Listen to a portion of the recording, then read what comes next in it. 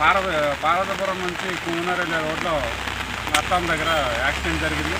అది ఈ యాక్సిడెంట్కి ప్రధాన కారణం ఏంటంటే రోడ్ల ప్రభావమే. ముందు చూడండి ఈ రోడ్ల మీద ఎంత ఉండడం వల్ల ఆ వెహికల్స్ తప్పించుకునే పరిస్థితిలో బస్సు యాక్సిడెంట్ అయినట్టు డ్రైవర్ చెప్తున్నారు. ఇలాంటి పరిస్థితిని పునరావృతం కాకుండా చూడాలి. రెండోది ఏంటంటే దాదాపు ముప్పై మంది విద్యార్థులు ఆ బస్సులో ప్రయాణిస్తున్నారు.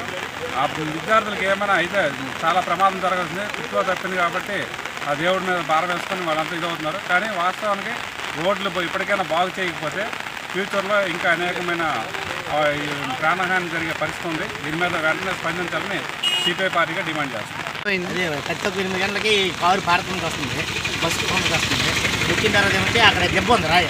ఆ దెబ్బ ఎక్కడం వల్ల బస్సు మీదకి కారు వెళ్ళి యాక్సిడెంట్ అయింది. బస్సులో బస్సులో ఎటే? బస్సులో నలభై మంది ఉన్నారు నలభై మంది పిల్లలు. వాళ్ళందరికీ క్షేమంగా బస్సు ఎక్కించి ఎవరు వార్డుల మీద బస్సుల మీద. బస్సు ఏమో చెరుకుపాడులోకి వెళ్ళిపోయింది హలో వ్యూవర్స్ మరిన్ని వీడియోల కోసం మై టీవీని సబ్స్క్రైబ్ చేసుకోండి.